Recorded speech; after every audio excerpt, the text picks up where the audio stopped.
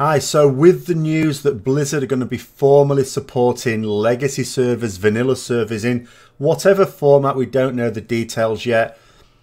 It's really great news for obviously the lot of people who especially want to play those servers but don't want to play World of Warcraft the modern version, but also equally great for the people who want to play the older version and the newer version. The thing I've always said about an online game, the great problem with it is when you bought a more traditional game, that had a physical copy to it, you bought a CD. And you have that forever. So Baldur's Gate, which is another great love of mine, a game I return to every couple of years. You know, I have a physical copy of that. As long as I've got a computer with an operating system that can play it, I can play that whenever I like. The company can go under it, doesn't matter, I've got that game. The same is not true of an online game. You're playing it on the company's servers. When they discontinue it, you can't play it anymore. Uh, when they change it, you can't play the things that were changed away from anymore. And, and that's always really disappointing. There are certainly things that have changed in the game World of Warcraft now that that I miss. And I remember when my channel was quite young, one of the series I did was you know playing my paladin through the different expansions, what the experience was like. Um, and the first time I used a device that I'm going to use for this one as well. So, and also my attitude has always been with the, the vanilla servers is I very much understand the reason why people want them to be a thing because it's something you cannot access. Blizzard are not allowing us to access it to it, but it was not the sort of thing I would prepare to do myself because I do respect the fact that it is Blizzard's copyright material, so I would never play on a private server. Um, so I'm just delighted that, that you know everything uh, is going to be fine now. Well, we hope so anyway. We hope so. There are some things obviously that each of us would like about the vanilla servers, and maybe some of them would would be there and some of them would not.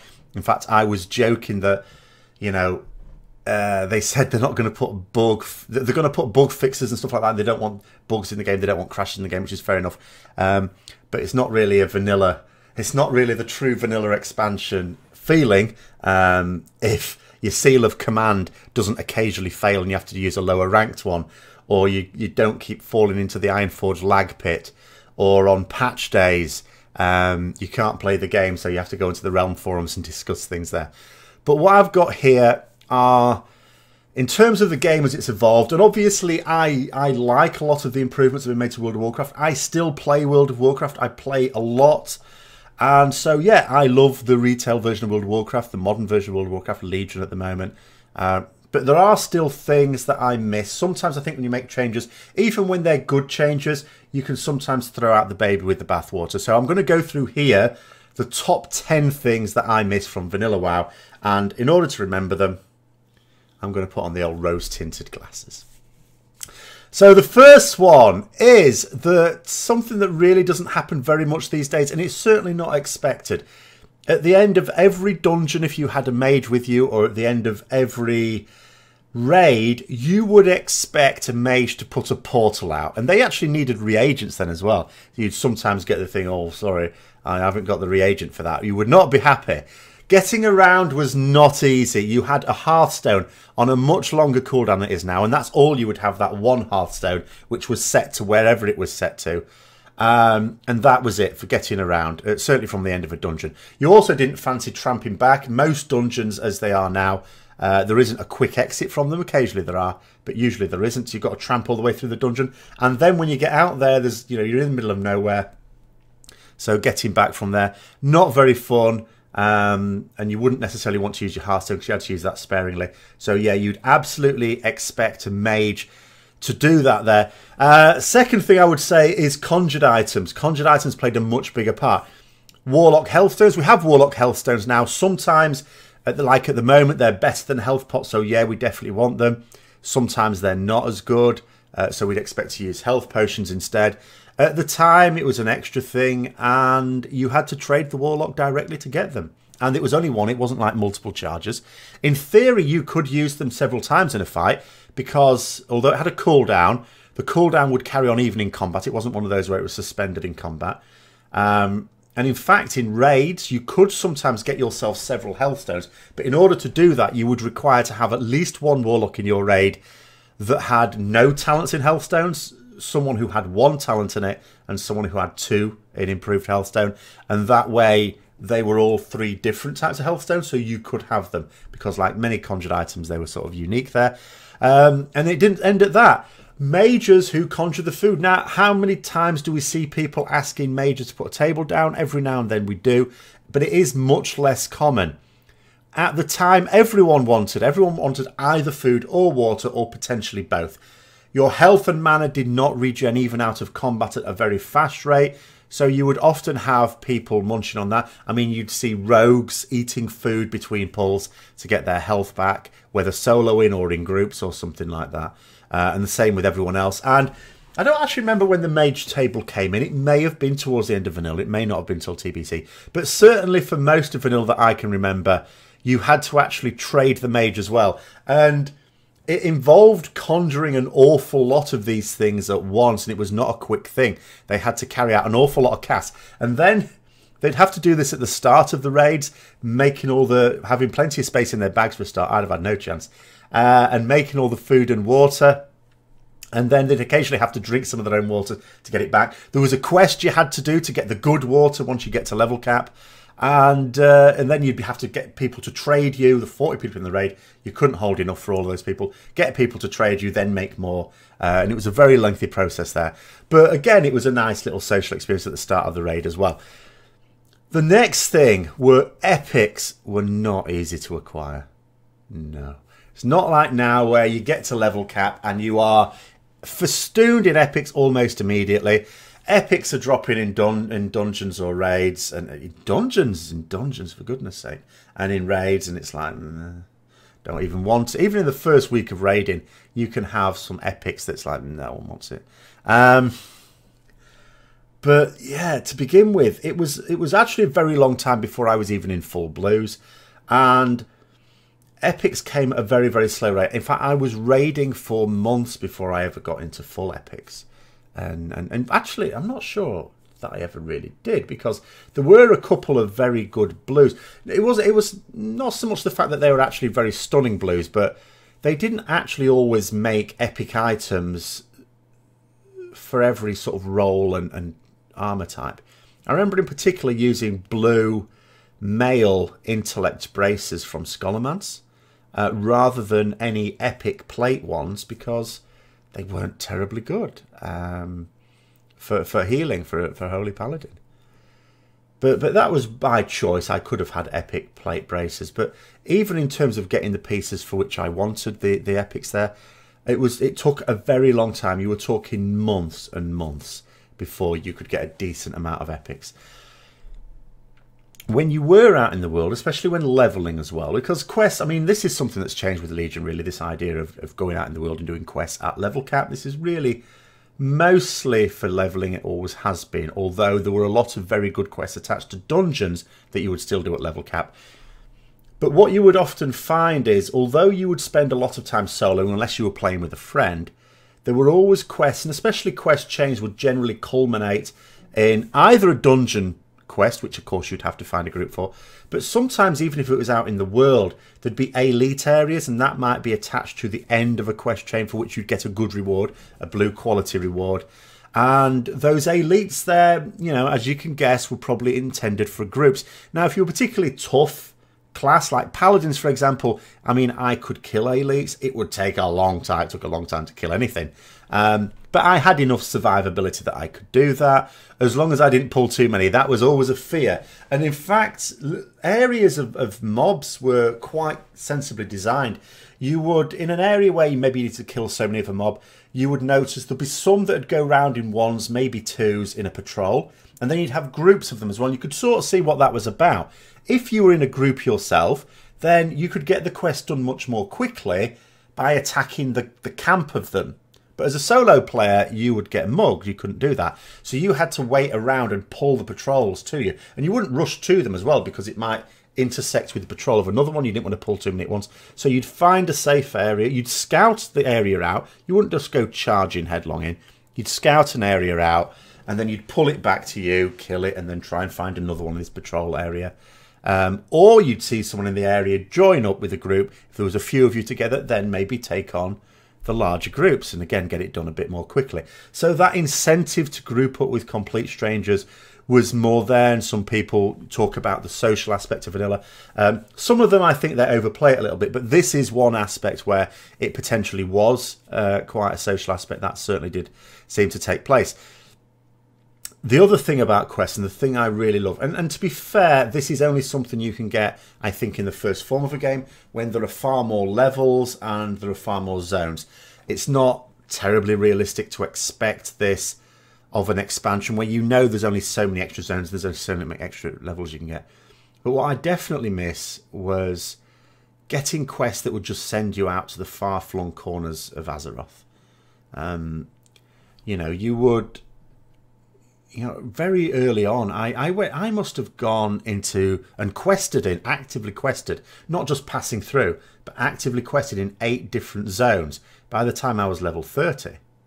You know, I went all over the place because, you know, you'd go somewhere and someone would send you up to wetlands. You'd, there was an elf outside the alchemy place in Stormwind or near there that would send you off to um, Stonetalon Mountains and Thousand Needles. Um, I was a long that was a different continent. You know, and you're looking at the map in your manual, trying to work out how you're going to get there. You'd be going through zones where the mobs had skulls where their level should be. Uh, so you'd stick very closely to the path there. Some paths in some zones had elites that would wander around them. You know, the Scarlet Courier, for example, in uh, Eastern Plaguelands, you'd have to be very, very wary of. There was another elite patrol round uh, Arathi Highlands, Hillsbrad area. I forget. It might be the intersection between the two. Uh, so sometimes the path wasn't all that safe as well. So you couldn't you couldn't really go AFK somewhere like you can now. You just fly, don't you? Just go up into the air, way into the air, uh, and you can just go AFK there. It was very dicey going AFK at the time, even on a PVE server, um, just because some paths were not safe. Uh, and then I remember my favourite zone of all, Duskwood, with the St- Stitches quest line. That was a great quest line, but also it meant someone else doing it could could some the, you know there'd be an abomination wandering down the main path, so that wasn't a safe place to go either. Um, so yeah, so quest hubs. I mean, they did exist then. The idea that we have now, which you go to an area, you pick up all the quests, go out and murder everything that moves, and wait till it's all complete, and then go back. Um, it's not that they didn't exist; they did exist. They had those as well. It's just that that was one way of getting and finishing quests. It wasn't the only system there was. There were quests, as I say, that would just, you know, for, for just one quest that would just send you miles away. Go over there. Uh, not breadcrumb quests to send you to the next place, because that's all you have now. You go to a hub, you get all the quests, you do them, and then you get another quest, a breadcrumb quest that sends you to the next hub to go, and you do them all there and, and keep moving around like that. Um, it was, it was, there was more explanate, exploration about it and that's definitely something I miss. But as I say, I don't, you know, attack the changes to World of Warcraft. I think that's something that in an expansion in general is much more difficult to get uh, with the limited number of zones and, and you know, maybe with um, more scaling in zones, maybe that's something that could be brought back at some point. The other thing is when it came to finding groups, particularly for dungeons, obviously for dungeons you're going to need to find a group. Now, if you're in a guild, you might well be able to find people in the guild to go with you. That occasionally would happen. Even then, it could take a while. I was certainly never in a guild where it was a quick thing. But I mean, you know, I can only speak from my own experiences. But certainly before I got into any sort of suitable guild, which I never did when I was leveling up, so finding a dungeon group or getting involved in a dungeon group. The quickest one I ever found actually is when I was doing my level 20, I was above level 20 by the time I got to this bit, Paladin quest, and I found myself in Ashenvale trying to find Blackfathom Deeps. It didn't appear to be where it was marked on the map in the manual. Uh, so I needed to go there to, to complete that quest. And just so happened there were four people asking in chat there for a fifth to join them for that dungeon. Turns out I didn't actually need to go to the dungeon at all. I could have just gone to the outside of it. But nonetheless, that you know that was the quickest way I ever got into a dungeon. Usually you're waiting around for a bit. Certainly if you got in on the ground floor, if you started the dungeon group yourself, it could easily take a long time. And most likely you'd go to Ironforge, go to trade chat and try to form the group there and then head out. and it could take a very long time. It could take up to an hour to get the group together. And you knew people sort of knew that it was going to take a long time. It was going to take a long time to do the dungeon. Um, but because that is the only tool you had for getting that group together. There was no, even the rudimentary LFD came in Burning Crusade.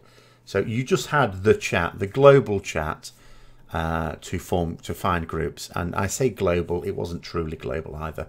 So you were very severely limited um, in that regard, and, and as a result, the the emphasis to join a guild of people with common interest was much greater. So the cesspool guilds you didn't really hear about at the time because it was in your interest if you wanted a more efficient experience to join with people who wanted the same thing out of the game as you did so that you could get groups via the guild there.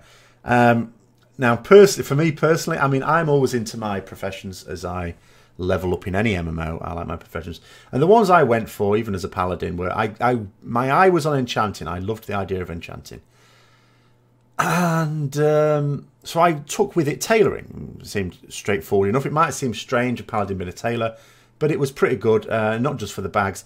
The fact that you you could get your own materials without a gathering trade because the cloth you just you got as normal. Make things with it that you could then disenchant, so it feeds into the enchanting. But nonetheless, I wouldn't have hoped to have got all the materials I wanted to keep my enchanting up at the same level as my character. So to fund the purchase of other enchanting materials, I had to sell enchants, and that meant being in Ironforge, in trade chat, advertising the various enchants I could do and my prices. Because you couldn't just put them on a vellum and put them on the auction house. You had to enchant in person. That was the only way to do it at the time, which meant if you wanted to sell enchanting, uh, you had to be there in Ironforge. I mean, I suppose it would be Undercity most likely, or Orgrimmar uh, as Horde, but certainly as Alliance, Ironforge was the place to be. Not only was it fairly central, not only was it as a, a good city, a good layout, but it, it, had the auction house. Before they had auction houses in various cities, Ironforge for Alliance was where it was. Uh, so you'd even though you couldn't use it yourself for the enchanting, you could that's where people would naturally congregate for trade. Um, the other thing is dungeons going back to dungeons at level cap they were actually really really difficult. Like when you first got to level cap and not really knowing how to play the game if we're honest you got a group together of people around about your level uh, because you'd be quests the quest for those dungeons you would get them. And you'd go into those dungeons you would just get mullered absolutely blattered you, they were too hard. they were too difficult for people who didn't really know what they were doing, and for people in low level gear or poor quality gear. No chance, right? Was that a barrier? Not at all, because you could raid dungeons. You would get 10 man raids to the likes of Stratholme and Scholomance and Blackrock Depths. Um, you could actually 15 man lower Blackrock Spire because that was part of the same instance as upper Blackrock Spire, which was 15 man. But the point, I mean, generally that ten man. Uh, but the point is, you these high level dungeons you could do as ten man, just to get gear, and that's what people would do them for. You couldn't do the quests in them because you were in a raid group, but you would go there, get yourself geared up. Once you were geared up, then you could do them as five man, and uh, and do the quests and, and, get the other items from those quests, which was still good, even if you, after you'd geared up uh, with some of the items that drop in those instances as well. So there was a long progression arc with just doing dungeons. Doing dungeons wasn't just something you did for the first couple of weeks of an expansion until you got yourself into your raids. Admittedly, Legions come a little bit of a way with that one now with the Mythic Plus dungeon system. But there was an actual progression arc. You would do dungeons before you did raids, but it would take you a long time to gear up in dungeons as a result of that speaking of dungeons, uh, to access some parts of dungeons, or even to access dungeons at all, you would sometimes need keys for which you had to do a quest. So, for example, you couldn't attack the Scarlet side of Stratholme until you had uh, a Scarlet key, which you got from one of the Scarlet Monastery uh, dungeons, the, the library, uh, which you had to do there. Um, East Dire Maul East required the crescent key, and you got that from, let's get this right now, Dire Maul West, I believe, by following the little imp uh, that you chase around, which you can still get now um, but you don't need that to get into that instance anymore. So there were keys you needed. You need. Eventually, they brought in the key ring uh, because there were so many keys to access different things um, that it became a bit on your bags were just getting jammed with it. Or more likely, what people would do was leave the keys in their bank. You'd get to the dungeon. Remember, it took a long time to get dungeon group together. Then you had to get to the dungeon. Some of those dungeon travels were horrendous. For example, I particularly remember round about level 30 doing Scarlet Monastery. So the way you did that as Alliance, because Horde area, not so bad. You just get Tirisfal Glades, away you go. As Alliance, what you had to do was get yourself through Hillsbrad, go up towards Chillwind Camp in Western Plaguelands, and that was as close as you could get to it via a flight point. And then you'd have to go north. There'd be a lake. You'd swim across the lake, get to the other side. As soon as you're on the other side, it's very dicey. First of all, there's bears, way higher item level, uh, item level, way higher level than you.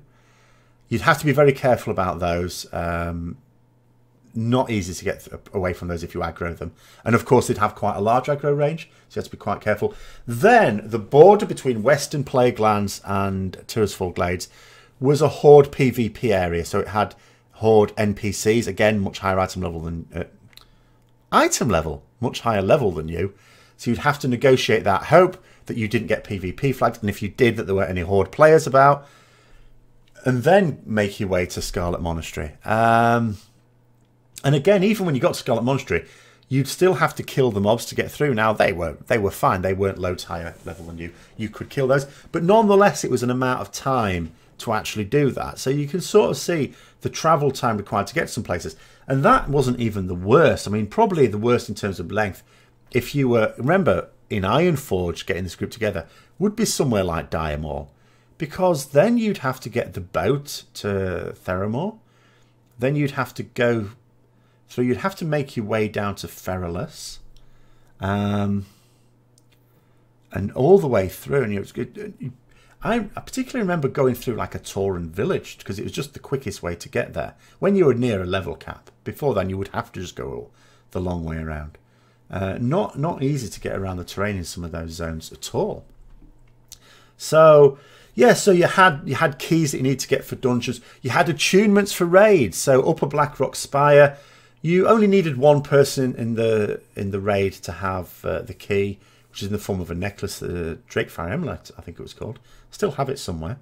Um, no, it was the Seal of Ascension, wasn't it? Drakefire Amulet was Onyxia's lair.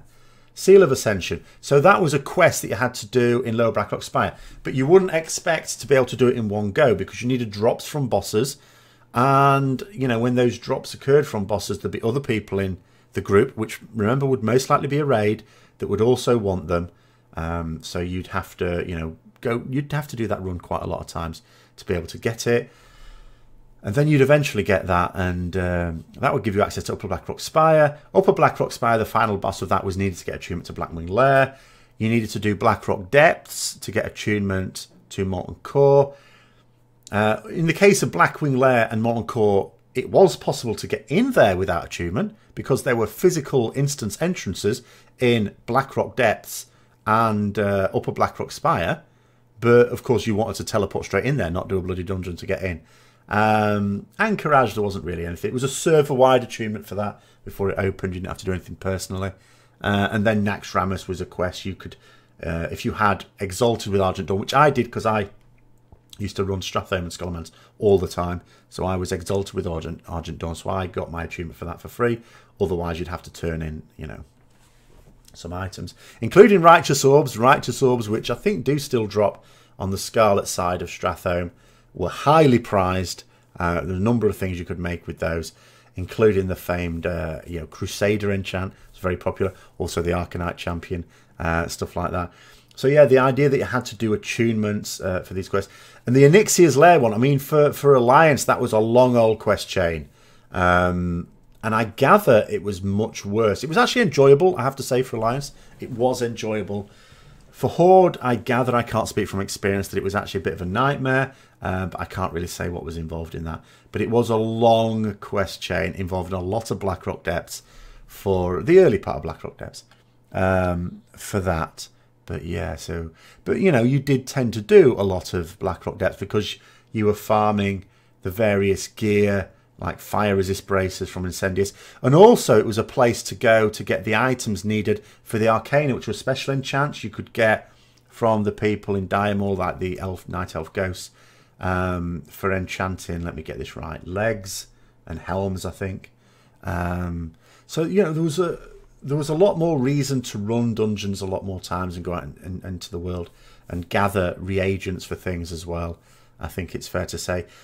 And then I think the final thing that I miss the most uh, about it, from a social point of view, is the 40 man raiding. I understand why we don't have 40 man raiding. There's a number of reasons I suppose it could be argued. But what was really nice about 40 man raiding is, unlike with 20 man mythic raiding, you could definitely carry people. And you did. It was a nice social experience.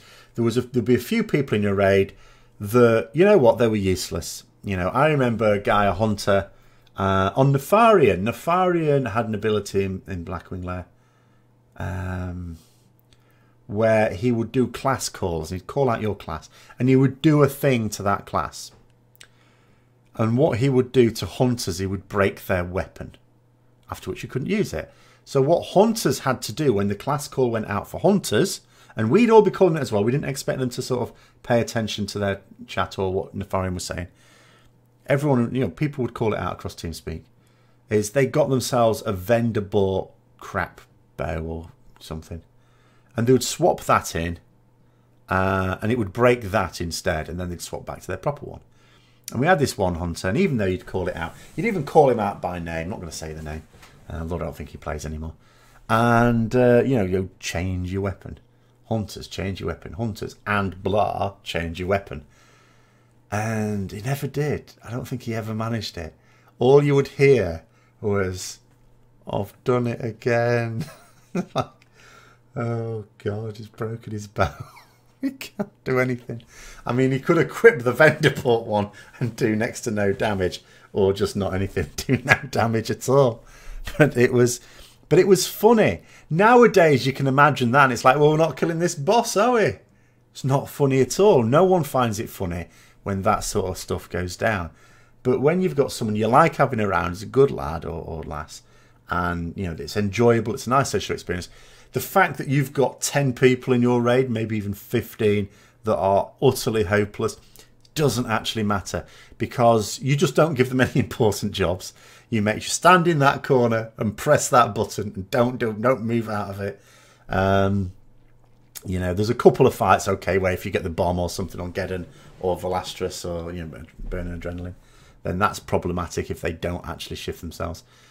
But you could always just isolate them in the first place. Just say, right, you're standing over there, well away from anyone else uh, for the whole fight. Uh, if it had to come to that, and you would still make progress. You would still kill Nefarian before Ahn'Qiraj opened. You would still kill C'Thun before Naxxramas opened. All the rest of it. Maybe not kill Kel'Thuzad before everything opened because your guild decides as soon as Burning Crusade is announced uh, that they're going to stop raiding altogether. But you know, there you go. Uh, so those are the sort of 10 things I've sort of gone off on a bit of a tangent on a few of them that I do miss most about vanilla and you know when it when these servers come out and I think we're waiting a fair time yet um, I will potter about them. I have sort of said it's not going to be the thing I'm going to throw myself in. It's certainly not going to put pull me away from retail World of Warcraft as you might call it the modern version. Because uh, like I said I, I played vanilla. I played all the aspects of vanilla. I've done vanilla. But there are things I miss about it, and just for the sake of nostalgia, if nothing else, it would be quite nice to start my Paladin back up there. I even remember what it looked like. It looked like someone had beaten its face in with a door, actually, before uh, I eventually changed it when the, the updated graphics came in for the races. Um, but it is my first character. It's the first character I made, and uh, that I still have now. Uh, you know, all the way back then. So it'd be nice to make that again, uh, and I'll be looking forward to that. So I hope you enjoyed this video. Uh, if you did, don't forget to like, comment, comment with your own experiences, all the things you miss most about vanilla, or if you didn't play vanilla, the things that you're most looking forward to experiencing uh, when these servers come out. Uh, and also don't forget to subscribe for further content. And until next time, I'll see you later.